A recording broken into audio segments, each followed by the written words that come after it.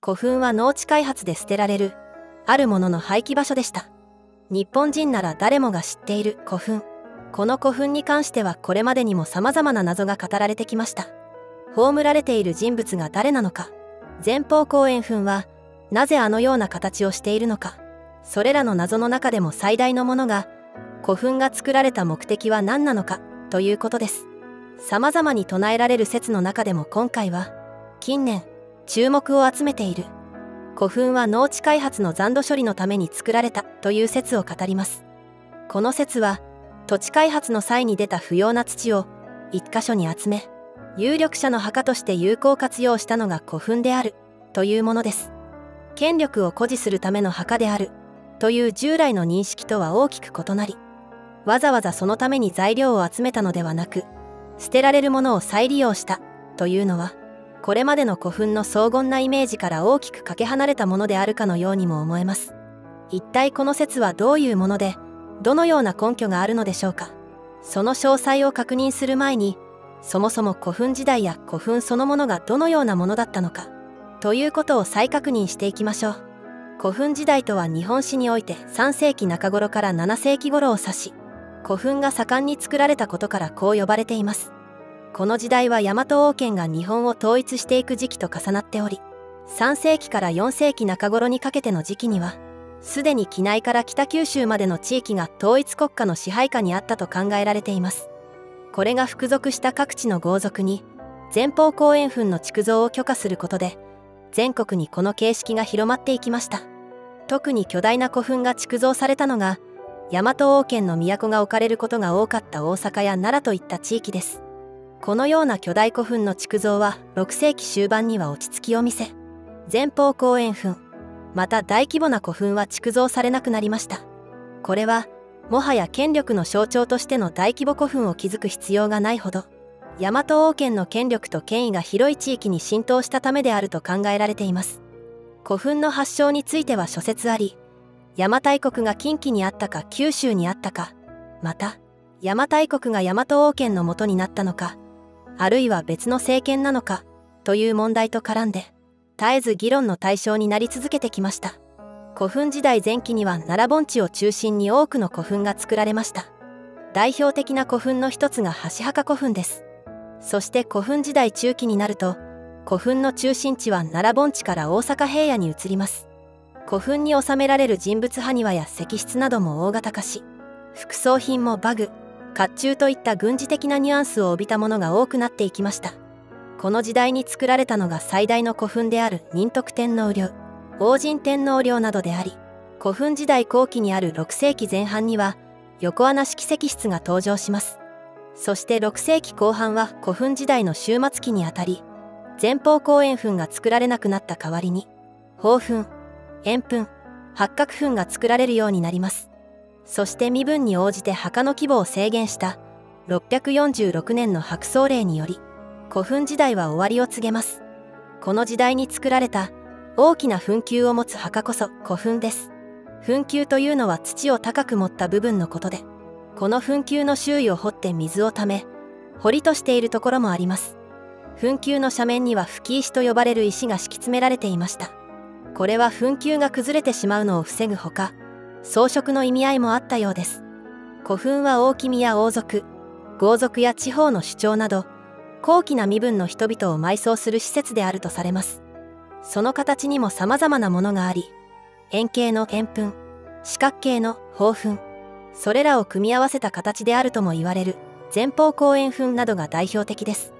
さらに長方形六角形八角形のものなどが存在しています。またこの古墳を語る時に避けては通れないのが埴輪です。埴輪とは大型の古墳の墳丘の上などに置かれた土製品で円筒形をした円筒埴輪また人物などの形を模した継承埴輪などがあります。古墳時代が進むにつれ古墳の大きさは一般的な傾向としても大型化していきます。古墳は日本の各地に分布していますが最も数が多いのは兵庫県で1万6000基以上が存在するとされています。このほか千葉鳥取福岡京都などに多く見られますが一方で北海道や青森沖縄には一機も存在していないとする主張もあります。古墳時代とは日本史において3世紀中頃から7世紀頃を指し古墳が盛んに作られたことからこう呼ばれています。この時代は大和王権が日本を統一していく時期と重なっており3世紀から4世紀中頃にかけての時期にはすでに畿内から北九州までの地域が統一国家の支配下にあったと考えられています。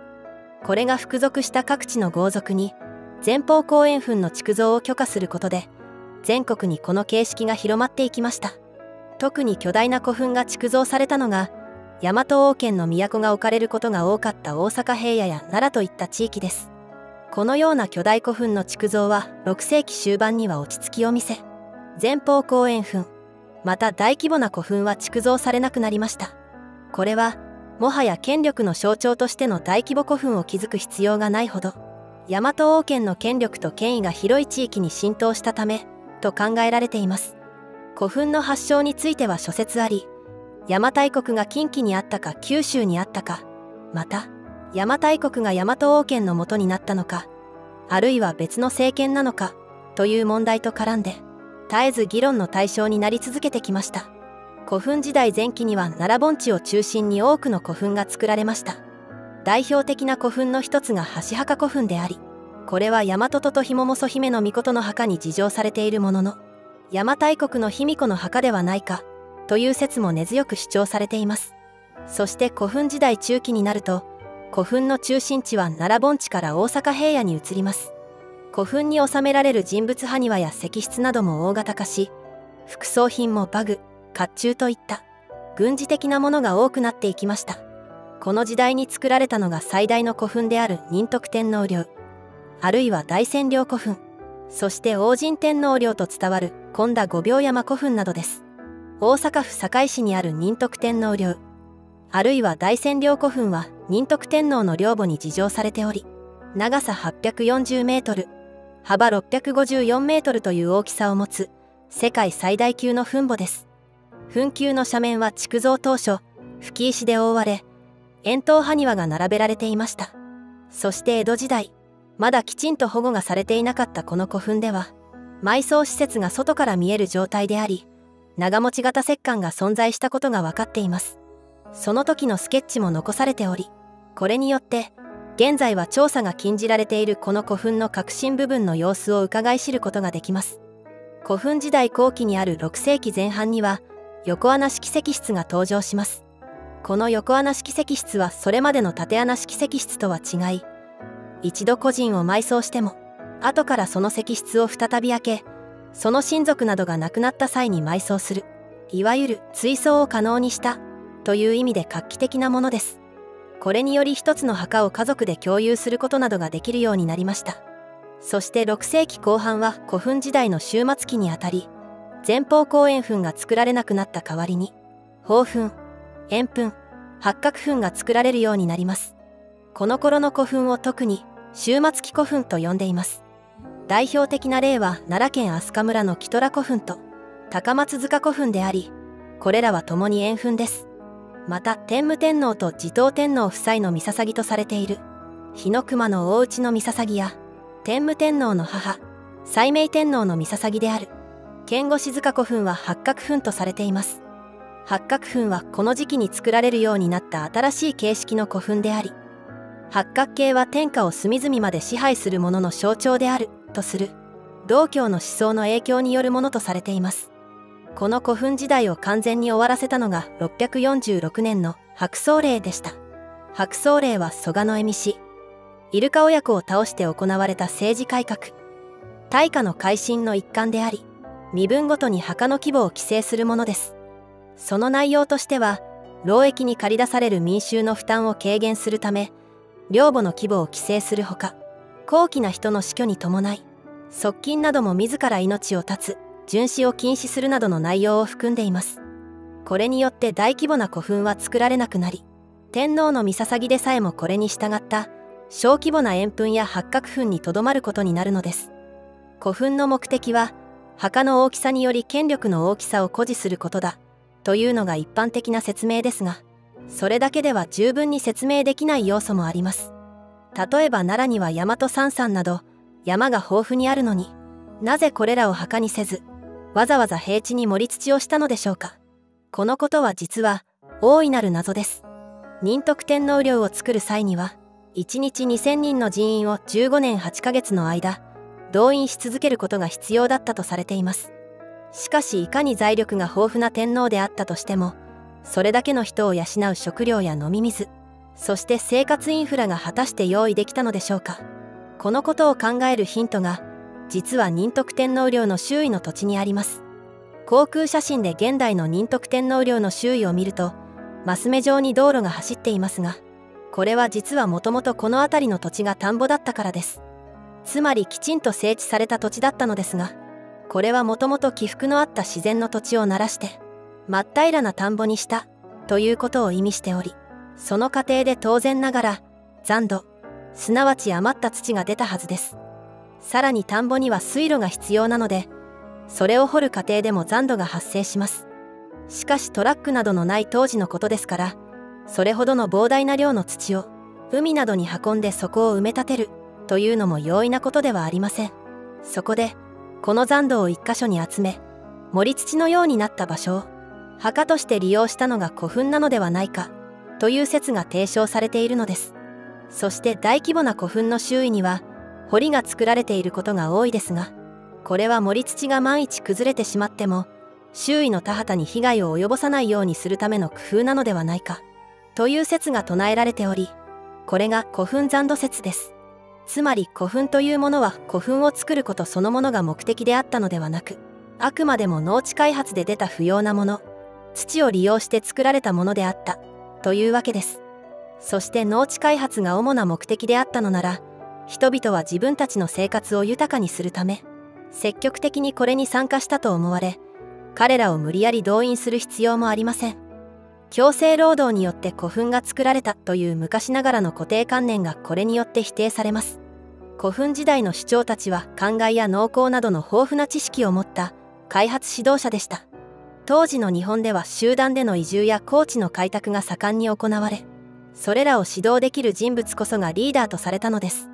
大阪府のモズ古市古墳群では田んぼの地割りと前方後円墳の主軸の方位が一致しておりこれらが同時期に行われた工事であることがわかります。奈良盆地で大和朝廷の大君が行ったこのような大規模工事がおそらくは他の地域の主張地方の王たちにも模倣され各地に古墳が築かれていったのです。つまり古墳の墳丘というのはそれ自体が目的であるというよりも農地の開拓の際にできた副産物なのですがこうして考えれば結局は大きな権力や動員力を持った主張が大規模な高地開発をすることができそれだけ残土も多く盛り土も大きくなりますのでそのような主張の古墳が大きなものになるという意味では従来の主流の見解と変わらないのかもしれません。大林組の試算によれば仁徳天皇陵を作るためには15年8ヶ月の時間と延べ796万人の人員が必要である。とのことです。仁徳天皇は民のかまどの故事でも有名です。そのように慈悲深い天皇がそれだけの人数を動員して民を疲弊させるようなことをするでしょうか。実はこの疑問に答えを出してくれる説こそ古墳残土説なのです。つまり仁徳天皇陵があれだけ巨大なのは大人数の民を刺激したからというよりも民のために大規模な開墾をし食料生産力を向上させたからというのが理由なのです。また田畑の開発で出た残土の盛り土を主張の墓にするというのはその主張への感謝を表すという意味もありますが同時に死後の主張にその田畑を守ってもらうことができるという宗教的な意味もあります。この主張の墓は開墾した田畑が見渡せる場所に作ろうというのが自然な考えでありするとこの残土を集めて盛り土にしたところの上ということになるわけです。また古墳作りが強制労働であったという話が昔からまことしやかに語られていましたがしかし1日2,000人もの人を強制労働させこれほどの大規模な工事を15年以上も維持し続けることは非常に多くの経済力をそこに傾けることになります。それよりもむしろ人々の生活を向上させる農地開発が行われその残土が古墳に利用されたと考えた方がはるかに自然なのです。この古墳残土説が優れているのは古墳時代が終わったこと。すなわち古墳がだんだんと小規模なものになり古墳の造営そのものが下火になってしまったこともうまく説明できる点です。古墳時代の歴史をたどると最初は小規模だった古墳がやがて巨大化しまた小さくなっていくという変化が見て取れます。最初に古墳が巨大化していったことは技術革新によって大規模な開墾と大量の残土の処理が可能になったからであるという説明ができるのです。そして社会の安定と政治的統合により開拓の規模そのものも大きくなっていったことが予想されます。では古墳時代の終わりにかけて古墳の規模が縮小していったことはどのように説明されているのでしょうか。ある程度農地の開発が進んだことで水路が完備されすると人々は洪水への対策を迫られるようになります。そのために作られるのが大規模な堤防なのですが当然多量の土が必要になりますのでこれまで古墳に使われていた残土はこの堤防に費やされるようになり大規模な古墳に使われていた盛り土は小さくなっていくのです。これが古墳時代の終わりにかけて古墳が小規模になっていったプロセスなのです。またこの件は近年唱えられ出した新たな説ではなくむしろ戦前の一般的な認識であったようです。近代以前は人々が協力して田畑を開いたりあるいは水路を作るというのは当たり前に日本の各地で見られた光景でした。するとそのような工事で決まって発生するのが残土です。一方古墳というものはその多くが平地にあり周囲が田んぼだったことも多かったため近代以前の人々には歴史の知識などがなくてもこの古墳が農地を開発した際にできた残土の盛り土であるということは直感的に理解できたことなのです。そして農地の残土ではなく古墳はため池を作った時の残土であったとする説もあります。後の時代に平城京となる場所にある先立並古墳群はいくつかの古墳が並ぶように築造されています。この辺りの古墳の成立には周辺の推理に関する事情が大きく関係しています。実は古代この古墳群の周辺にあった奈良湖がある時期に干上がってしまいました。東にある佐保川西にある秋篠川の近くの地域はそれでもそれらの川から水を引くことができたもののその間の地域には水を引くことができなくなってしまったのです。そこで必要とされるのがため池で実際にこの周辺には第10代の崇神天皇が作ったものなど多くのため池が作られています。そして先立古墳群が作られたのはそれよりも新しい時代なのです。このことからこの一帯にある古墳群はため池を掘った際の残土をちょうど中之島のように池の中央部に盛り土しそれを天皇皇族などの墓として利用したものであると主張されているのです。ため池に中之島を作る。というのは一般的に行われることで特に古墳時代などに都の置かれた奈良大阪周辺では古い地図に描かれたため池に中之島があることがわかります。これは残土をここに盛ったということのほかに保水の役割も期待され干ばつ対策として設けられたものでもあったようです。この中の島からは時間をかけて細かい土の粒子が池の底に流れ出しそれが池の底を覆うことで水が染み込みづらくなり池の保水力が増したと考えることができるのです。またこの古墳は残土で作られたが堤防に土が使われるようになり古墳は小型化したという説に似て非なるものとして古墳そのものが堤防の役割を果たしていたと唱える専門家もいます。古代の日本人は豊富な天文学の知識を持っており古墳の石室に星座を正確に書くこともありましたが奈良盆地にあるたくさんの古墳はその向きが南北などに揃っているわけではなくバラバラな方向を向いています。これは当時の人々が古墳の向きというものにこだわりを持たなかっただけなのでしょうか。それとも他に何か理由があるのでしょうか。そのことを検証するための格好の材料の一つが奈良県桜井市の橋墓古墳です。卑弥呼の墓であるという説が唱えられていることで有名なこの古墳ですが同時に最初の大規模古墳であり最も古い前方後円墳の一つとしても有名です。この古墳は実は三輪山の北の谷筋からやってくる土石流をちょうどせき止めるような位置に築かれておりこの古墳自体が堤防の役割を果たしていたのではないかと思わせます。またこの橋墓古墳が築かれた古墳時代は気候が不安定な時期であり大洪水が繰り返されたと予想されますので地盤が緩んだところに少し雨が降っただけでも土石流が起こり人々の生活の場を破壊するということもあったでしょう。さらに当時は人口が急激に増えた時期でもあり大和王権の人が置かれるほど人口が多かったこの地域は山林の伐採が進み山肌が露出するような場所も多かったことでしょう。これらの理由から当時のこの地域では余計に洪水の懸念が増していたというわけです。この箸墓古墳が牧田などではなく三輪山の谷筋を向いているのはこのように森林伐採が進み洪水の危険が増した山からの土石流から牧向の集落を守るためだったのです。また箸墓古墳の被葬者すなわちここに葬られた人物とされる大和ととひももそ姫の御は三輪山の大物主という神と結婚したとされますがこれはその山に洪水対策のため人柱として捧げられたという解釈をすることもできます。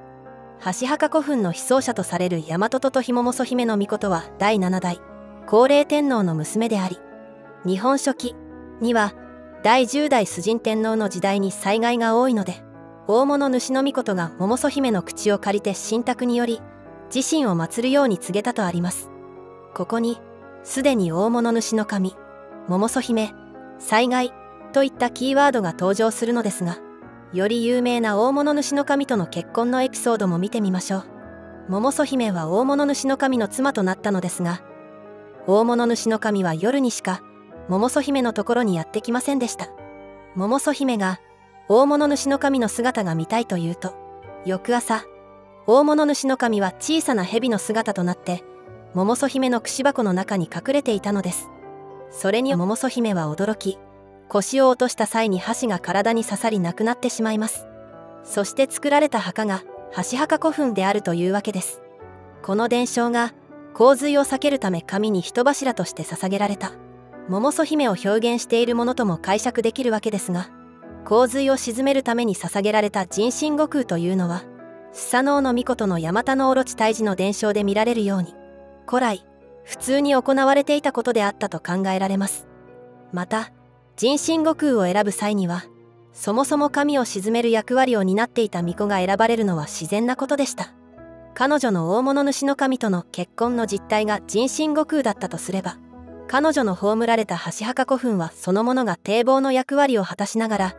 桃曽姫の人心悟空によって宗教的な意味でも当時の人々の暮らしを守っていたということになります。高貴な人の墓がメインの目的ではなく農地開発などの残土を処理するためにこそ作られたという可能性が持ち上がってきた古墳。そのエピソードを探っていくと民のために大規模な土地開発を行った結果巨大古墳に眠ることになった仁徳天皇や洪水を治め人々の命を守るために犠牲になったかもしれない大和ととひももそ姫の御事など民のためにその身を犠牲にした人々の姿が見えてきます。この古墳残土説が正しければ古墳は労役に苦しむ人々の犠牲でできたものではなく民を慈しんだ天皇や皇族の犠牲の賜物というこれまでとは180度違った存在として捉えることができるのかもしれません。今回はおなじみの古墳の常識を覆す新解釈古墳残土説について語りました。動画が良かったと思った方はグッドボタン。次の動画が気になる方はチャンネル登録をお願いします。それではまたお会いしましょう。